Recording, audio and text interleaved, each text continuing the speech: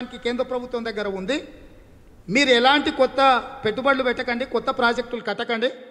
మీకు విపరీతమైన ఆర్థిక భారం అవుతుంది మీరు ఆ పని చేయకండి. ఎంత కావాలన్నా మేము ఇస్తామని రాష్ట్ర ప్రభుత్వానికి చెబితే రాష్ట్ర ప్రభుత్వం కేంద్ర ప్రభుత్వం యొక్క సూచనలు పెడచెవిన పెట్టి కేంద్ర ప్రభుత్వం రెండు రూపాయల అరవై పైసలకు రెండు రూపాయల డెబ్బై పైసలకు విద్యుత్ ఇస్తామంటే ఆ పేపర్ ఒకసారి ఇక్కడ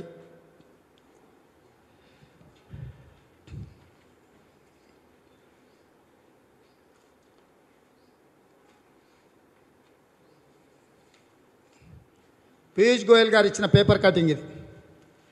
విద్యుత్ ప్లాంట్లపై విద్యుత్ ప్లాంట్ల ఏర్పాటుపై తెలంగాణ పునర పునరాలోచించాలి. పీయూష్ గోయల్ కేంద్ర మంత్రి ఇవాళ పేపర్ కటింగ్ తీసి ఇచ్చిన మీకు. కేంద్ర మంత్రే స్పష్టంగా వచ్చి రాష్ట్ర ప్రభుత్వం దగ్గర మీరు కొత్త ప్లాంట్లు పెట్టి అప్పుల పాలు చేయకండి విద్యుత్ జెన్కోలను ట్రాన్స్కోలను. మీరు తక్షణమే ఆలోచన మానుకోండి. కేంద్ర ప్రభుత్వం దగ్గర మిగులు విద్యుత్ ఉన్నది. మీకు అంద మీకు ఇస్తాం రెండు రూపాయల అరవై పైసలకు రెండు రూపాయల డెబ్బై పైసలకు మీరు పునరాలోచించుకోండి అని పీయూష్ గోయల్ కేంద్ర మంత్రిగా తెలంగాణ పర్యటనకు వచ్చి చెప్పిండు. ఆనాటి విద్యుత్ శాఖ మంత్రి.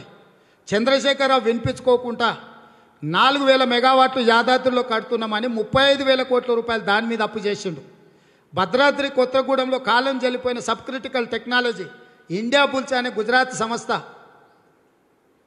ఐ ఏడు వేల కోట్లతోని కట్టాల్సిన వెయ్యి నలభై మెగావాట్ల దాన్ని పదివేల కోట్లు పెట్టి వెయ్యి కోట్ల రూపాయల కమిషన్లు కొట్టి ఆ ప్రాజెక్టును కూడా కాలం చెల్లిపోయిన సాంకేతికంగా కేంద్ర ప్రభుత్వం నిషేధించిన టెక్నాలజీని తీసుకొచ్చి భద్రాద్రి కొత్తగూడెంలో ప్రాజెక్టును కట్టిండు.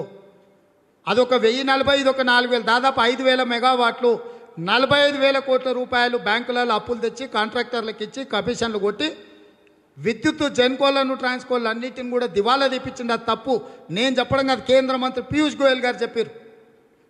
ఇది రెండవ తప్పిదం. మూడవది విద్యుత్కు సంబంధించి జెన్కోనేమో ఉత్పత్తి చేస్తుంది ట్రాన్స్కోనేమో సరఫరా చేస్తుంది డిస్కామ్లేమో సదరన్ డిస్కామ్ నార్థన్ డిస్కామ్. డిస్కామ్లేమో కన్జ్యూమర్లకి సరఫరా చేస్తుంది. అంటే కనెక్షన్స్ ఇస్తుంది.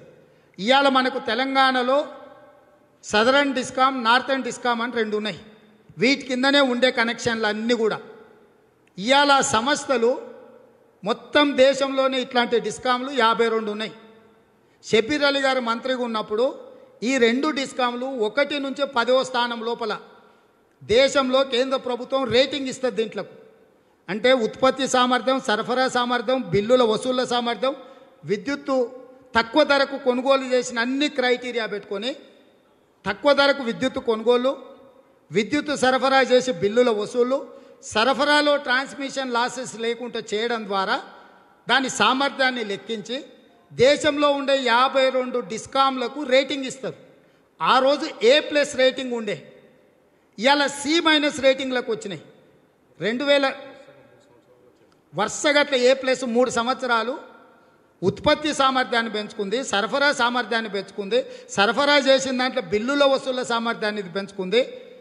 విద్యుత్ ప్రైవేట్లో కొనుగోలు చేస్తే తక్కువ ధరకు విద్యుత్ కొనుగోలు చేసి అన్ని రకాలుగా ఏ ప్లస్ గ్రేడు ఆ రోజు ఉమ్మడి రాష్ట్రంలో షబ్బీర్ అలీ గారు మంత్రిగా ఉన్నప్పుడు సదరన్ డిస్ట్రిబ్యూషన్ డిస్కామ్లు నార్థన్ డిస్కామ్లు రేటింగ్ సాధించినాయి.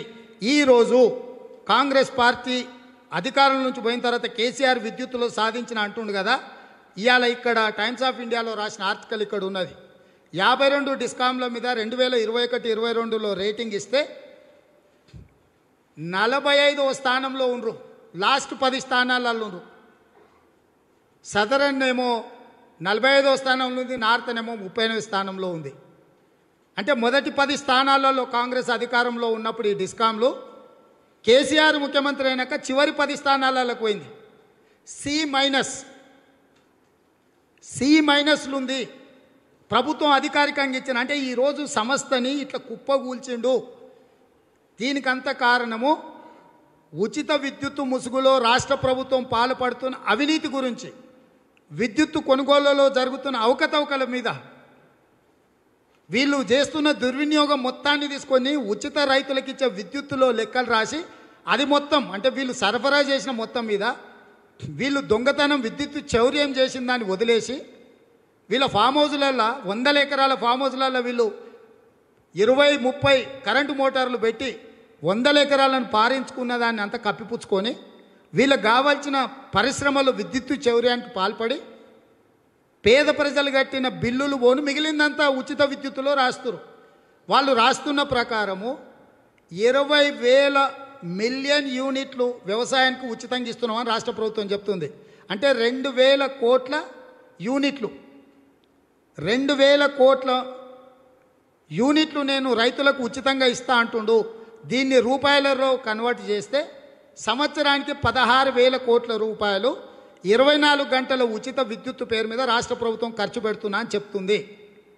ఇప్పుడు నేను లేవనెత్తిన అంశము అమెరికాలో కానీ ఇక్కడ కానీ రైతులకు ఇరవై నాలుగు గంటల ఉచిత విద్యుత్ ఇస్తలేదు. ఇది ఒక పాపులర్ స్లోగన్ కింద తీసుకున్నారు. ఈ ఉచితాన్ని అనుచితంగా అవినీతికి చంద్రశేఖరరావు వాడుకుంటుండు. ఇరవై నాలుగు గంటలు విద్యుత్తు ఉచితంగా ఇస్తే పదహారు వేల కోట్లు అవుతుంది సామాన్య రైతులు ఉన్న ఏరియాలో ఎనిమిది గంటలు ఇస్తున్నారు టీఆర్ఎస్ నాయకుల ఫామ్ హౌస్లు ఉన్న దగ్గర పది నుంచి పన్నెండు గంటలు ఇస్తారు అంటే నికరంగా ఒక పన్నెండు గంటలు అసలు విద్యుత్ ఇస్తలేరు. పన్నెండు గంటలు రైతులకు ఉచితంగా విద్యుత్ ఇయ్యనప్పుడు పదహారు వేల కోట్ల రూపాయలు పెట్టి కొనుగోలు చేసిన దాంట్లో ఎనిమిది వేల కోట్ల రూపాయలు ఎక్కడికి పోయినా ఎనిమిది వేల కోట్ల రూపాయలు విద్యుత్తు ఎవరు చౌర్యానికి పాల్పడుతురు ఎవరు దొంగతనానికి పాల్పడుతురు విద్యుత్తు వచ్చినా విద్యుత్తు చౌర్యం జరుగుతుందా? విద్యుత్తు కొనుగోళ్ళ ముసుగులో ఎనిమిది వేల కోట్ల రూపాయలు చంద్రశేఖరరావు దోపిడీకి పాల్పడ్డా అనేదే కాంగ్రెస్ ప్రశ్న. ఇక్కడ రైతులకు ఉచిత విద్యుత్తు విషయంలో కాంగ్రెస్కి ఎలాంటి శశపిశలు లేవు. రైతులకు అవసరమైనంత ఉచిత విద్యుత్ ఇవ్వాల్సిందే. ఇరవై నాలుగు గంటలు ఉచిత విద్యుత్ ఇవ్వాల్సిందే అని గతంలో మేము ధర్నాలే తీసుకున్నాం. నేను పాదయాత్ర చేస్తున్నప్పుడు ఖమ్మంలో సబ్స్టేషన్ దగ్గరికి వెళ్ళి దాని ముందలే ధర్నా చేసిన. ఇరవై నాలుగు గంటల ఉచిత విద్యుత్ ముసుగులో ప్రభుత్వం దోపిడీకి పాల్పడుతుంది. ఇరవై నాలుగు గంటలు ఇస్తలేదు ఎనిమిది గంటలు కూడా సరిగ్గా వస్తలేదు. ఇక్కడ మిర్చి పంట వరి ఎండిపోతుందని చెప్పి నేను పాదయాత్ర చేసినప్పుడు ఖమ్మం జిల్లాలో నేనే పోయి ధర్నా కూర్చున్నా. కాంగ్రెస్ పార్టీ విధానమే ఇరవై నాలుగు గంటల ఉచిత విద్యుత్ ఇవ్వడము. కేసీఆర్ రేవంత్ కాంగ్రెస్ వచ్చి ఇవన్నీ రద్దు చేస్తుందని. ప్రజలకు నష్టం జరిగించే అంశాలను ప్రజలకు కష్టం కలిగించే అంశాలను రద్దు చేస్తాం. ఏంటిది అది? ప్రజలకు నష్టం కష్టం కలిగిస్తున్న చంద్రశేఖరరావు. ఎస్ డెఫినెట్గా చంద్రశేఖరరావును రద్దు చేస్తాం. చెత్త బుట్టలో పడేస్తాం చంద్రశేఖరరావును. అందుకే ప్రజలకు చెప్తున్నాం ఈ రాష్ట్రంలో డబల్ బెడ్రూమ్ ఇండ్లు రాకపోవడానికి చంద్రశేఖరరావు కారణం. ఈ ప్ర ఈ రాష్ట్రంలో ఇంటికో ఉద్యోగం ఇవ్వకపోవడానికి చంద్రశేఖరరావే కారణం. కాళేశ్వరం పేరు మీద కోటి లక్ష నలభై తొమ్మిది వేల కోట్ల రూపాయల ద్వారా లక్ష కోట్ల అవినీతికి పాల్పడిన చంద్రశేఖరరావే కారణం చంద్రశేఖరరావును రద్దు చేస్తాం. పాలమూరు రంగారెడ్డి ఎత్తిపోతలు కడతామని కట్టక ప్రజలు మోసం చేసినందుకు చంద్రశేఖరరావును రద్దు చేస్తాం. మిషన్ భగీరథ పేరు మీద మిషన్ కాకతీయ పేరు మీద నువ్వు దోపిడీకి పాల్పడ్డావు. అందుకు చంద్రశేఖరరావును రద్దు చేస్తాము. దళితులను మోసగించినందుకు దళిత బంధులో ముప్పై శాతం కమిషన్ తీసుకున్నందుకు ఈ రాష్ట్రానికి పట్టిన చీడ చంద్రశేఖరరావు డెఫినెట్గా చంద్రశేఖరరావును రద్దు చేస్తాం చంద్రశేఖరరావును వదిలిస్తాం. అదే కాంగ్రెస్ విధానం. ఉచిత విద్యుత్తును రద్దు చేయడం చంద్రశేఖరరావు కాదు. తెలంగాణ ప్రజలకు భారంగా మారిన నీ అవినీతిని రద్దు చేస్తాం. ఉచిత విద్యుత్తు ముసుగులో సంవత్సరానికి ఎనిమిది వేల కోట్ల రూపాయలు నువ్వు అవినీతికి పాల్పడుతున్నావు. దాన్ని రద్దు చేస్తాము. యాదాద్రి భద్రాద్రి కొత్తగూడెం ప్రాజెక్టు నిర్మాణంలో నలభై ఐదు వేల కోట్ల రూపాయల టెండర్లు ఇచ్చి వేల కోట్ల రూపాయలకు నువ్వు అవినీతికి పాల్పడినవు. దాన్ని రద్దు చేస్తాం.